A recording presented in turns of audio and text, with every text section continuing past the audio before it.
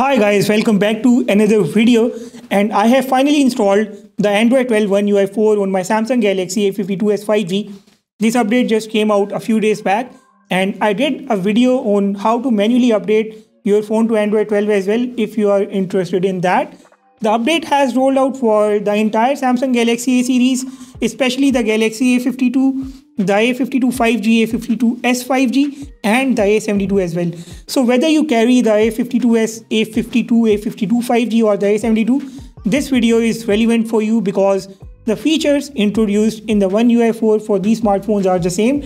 The experience is going to be the same, which is why the video has such title as well. The Android 12 on this phone, as uh, you know that it's a One UI 4 and it brings a security patch from January 1, 2022. It brings a lot of new features and a lot of new changes which will improve your experience on this device and I am just going to show you that. Now, before I begin, make sure that you have hit the subscribe button. We need to hit 100k subscribers on the channel and we are lacking behind. So make sure that you are subscribed and hit the like button. The like target for this video is just a thousand likes. Let's get into the features now. The first feature that i'm going to show you it's quite popular among the android 12 users it's the theme colors. So basically if you just go ahead and apply a wallpaper on your phone it shows you this new option the color palette. The color palette basically extracts the colors from your applied wallpaper and gives you an option to apply these colors to the entire UI of your phone. You can see that all these colors are extracted from my wallpaper. And if I just apply one of these colors, let's say this one and I also want to apply to the icons, click on done and now if you see the icons and if you see the notifications panel, it has the new colors. This is an option in the Samsung One UI 4 and you can find it in the wallpapers option of your phone. I like the default color palettes of the One UI so I keep using those as you can see that the icons look nice and clean and especially the notifications toggles look really good in the default colors. Okay, another uh, change in the One UI 4 is that you can now select multiple icons and move them together across different pages. For example, if I want to move uh, the phone messages and settings, what I can do is long press icon and click on select. I can select multiple icons and now I can move these icons together across different screens on my phone. This also works in the application drawer. You can move, uh, you can select and move the icons in the application drawer of your phone as well across multiple pages as you can see here. Let me also tell you uh, something new about the widgets on the phone. First of all, the widgets UI has got an entirely new look. You can see that the widgets appear like this on the screen of the phone now. You have this list view for the widgets and there are some new widgets as well. The noticeable widgets are under the clock section of the phone. You can see that you have all these widgets and I have applied one of these on the screen of my phone as well. Especially this dual clock widget. It basically lets you select two different uh, cities or countries on the home screen of your phone and the color of the widget changes according to the time in that country or in that city for example it's 8:23 a.m. It's uh, the day has just started in the New York, and it's showing you this white background uh, depicting that it's day. And in Manila, it's uh, around 9:23 p.m. and it's showing you this dark background depicting that it's night. It's a really nice uh, widget, and you can also resize this widget according to your own liking. You can see that if I just long press this widget, I can just resize it to whatever I like. Uh, the resizing does not work for all the widgets. It works for a few select widgets on the Samsung One UI 4. Guys, while I am showing you all these new features, make sure that you also keep your eyes on the animations because there are some minor improvements in the animations of the One UI 4 as well. The applications now open faster. The performance of the phone has seen a boost as well. Everything is pretty good on this new Samsung One UI 4. So make sure that you watch this video with all the attention to figure out how it's working and how fluid it is. Let's take a look at the camera applications UI. Now there are minor changes in the camera UI as well. First of all, you can see that these zoom icons have been replaced by these numbers. You can just select a number now to zoom all the way up to 10x or you can use your fingers to pinch in and pinch out as well the old option also works uh, there is no problem with that uh, and if you just use the front camera on your phone you have these new icons for switching uh, between the wide and ultra wide mode on the front camera of your phone. If you go all the way towards the right, you, you can see this add option here. You could uh, drag and drop these icons to the camera tray previously as well, but now just click on this add button and drag the icon and drop it here and you can click on save. I don't know what's the purpose of this add option. Maybe it is there to just to let you uh, know that you can actually drag these icons and drop into the camera tray because without this button it's really hard to figure out how you are supposed to bring these icons to this tray. I have talked about this in my tips and tricks videos so if you have been watching those you might be already aware of this feature. The Pro mode has got a new UI as well. This is how it looks now. Uh, there are no massive changes here. The phone still doesn't have the RAW capture mode. I think the RAW capture mode is not going to make it to the Samsung mid-range devices ever. There are new privacy controls uh, in the new One UI 4 and if you open any application and the application uses your camera and mic access, you will see its icon on the top right corner. For example, right now it is accessing the camera.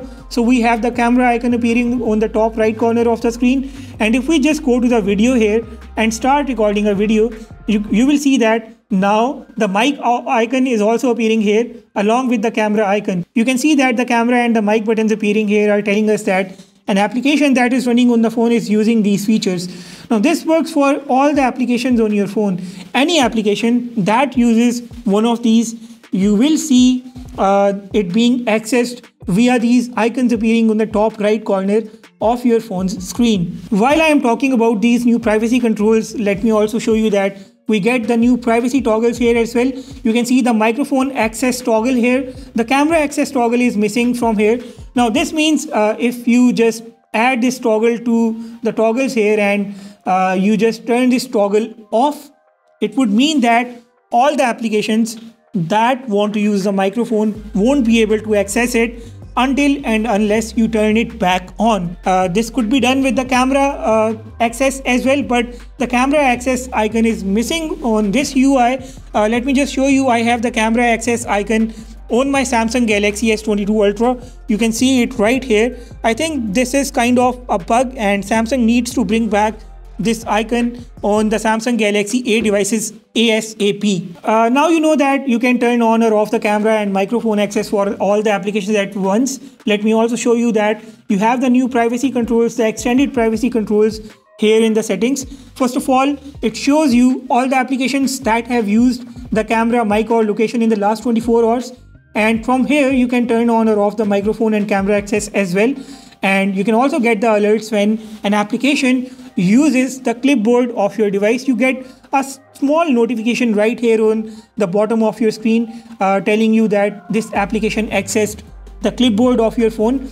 Basically, when you're copying and pasting stuff across different applications on your phone. Now here, if you go to all permissions and uh, you can see that uh, all the permissions, or all the permission usage data is right here.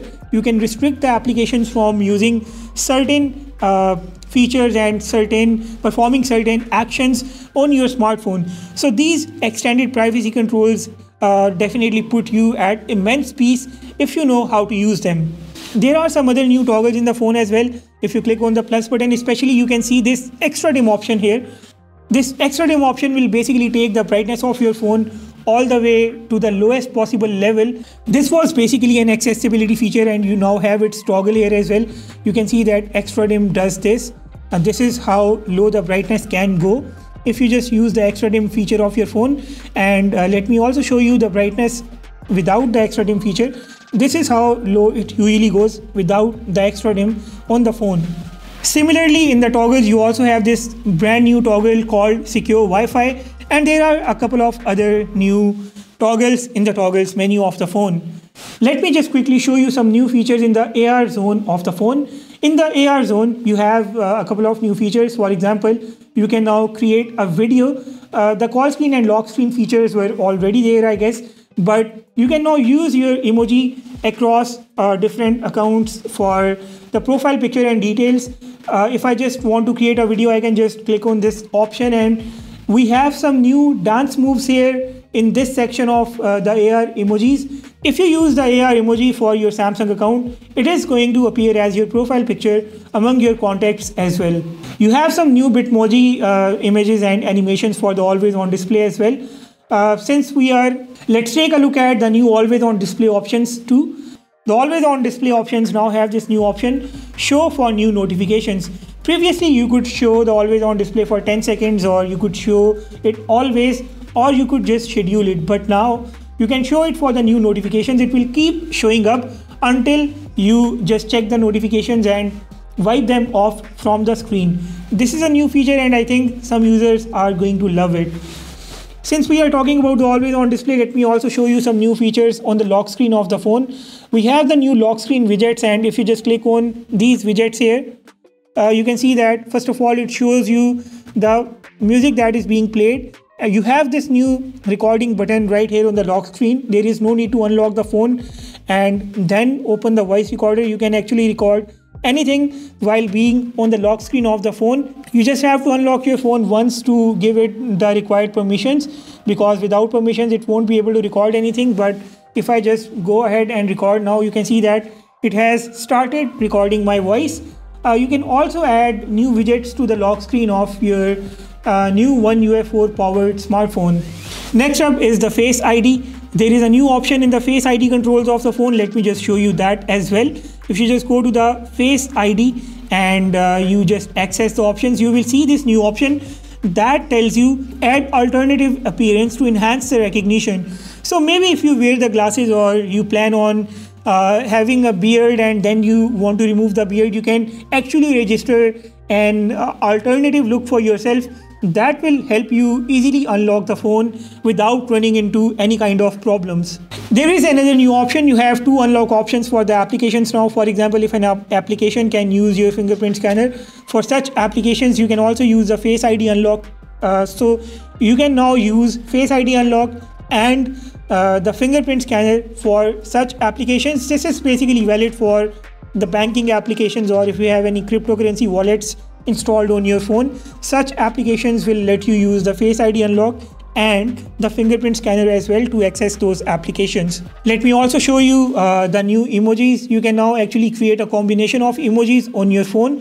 For this, we can go to the messages application on the phone and in the Samsung keyboard, we have some new features, but the highlight is the new combined emojis feature. So if you just type a new message on your phone and uh, you just go to the emojis like this, here and now click on the emojis and here you can just click on this icon this pair. Now you can select two emojis to create a pair. For example i want to create a pair. I can just go to this option and click on for example this one and this one next you can see that i can now select the animation what kind of animation i want to apply i want to apply this one and here we have it so I can send these emojis to all my contacts through the messaging application. The keyboard application has also been enhanced. Its search functionality has been enhanced as well. You can get the smart content directly in the uh, keyboard. The Bitmoji, uh, Mojitok, Giphy, Spotify, Google Translate, and you can also enable the Grammarly assistant in the keyboard of your phone. So if you are not good at grammar or your spellings are not too strong, you can actually enable the Grammarly writing assistant and you can start typing and it will just enhance your experience and it will help you learn a lot of new stuff as well. If you uh, launch the timer on your phone, for example, now if I just start the timer uh, of one minute maybe and I go back to the screen, you can see that a mini timer appears here to let me keep a track of the time. This is a new feature and it actually looks nice on the screen of your phone, isn't it? The calendar application has also got a new look and the calendar has a couple of new features as well. You can now add events to the calendar right here from the top screen by just clicking on the icon or, uh, or by just clicking on the date. You can see that I can add notes and a lot of other data to create a new event right inside the calendar. The calendar has also got new widgets and they also look quite good. Let me take you to the gallery application of the phone now. I found this feature in uh, Jimmy's video from the Jimmy's promo channel.